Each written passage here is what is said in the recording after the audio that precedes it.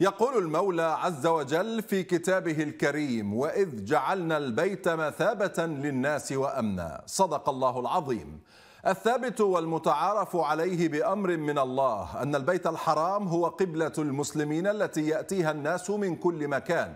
يدخلوها بأمان يمارسون شعائرهم المقدسة في سكينة وهدوء لا يغير عليهم عدو أو يعكر صفو عبادتهم أي خطر ثم يعودون إلى بلادهم سالمين غانمين.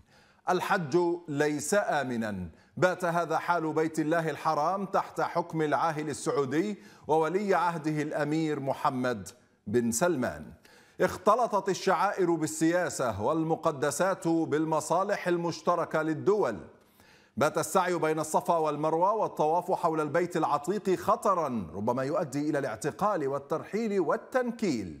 يصل مواطن مصري إلى بلاد الحرمين ممنيا النفس بأداء فريضة الحج توقفه السلطات السعودية. يعتقله رجال الأمن بعد تحقيق طويل يتم ترحيله وتسليمه إلى السلطات المصرية. والسبب تنسيق أمني بين بن سلمان والسيسي. ترحل السعودية بموجبه أي معارض مصري جاء للحج أو العمرة أو الزيارة. تكرر الأمر مع مسلم الإيغور سلمهم بن سلمان للصين من أجل علاقات أقوى بين البلدين. قوائم طويلة من الممنوعين من دخول السعودية ومن أداء فريضة الحج.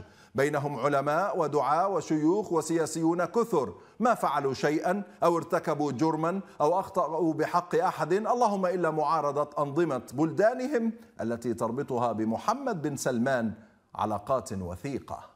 الحج ليس آمنا مقولة أؤمن بها بشكل شخصي وأطرح بسببها سؤالا على ولي العهد السعودي محمد بن سلمان لو أن أسامة جويش المواطن المصري والصحفي بقناة مكملين أراد أن يؤدي فريضة الحج فهل يسمح له بتأشيرة؟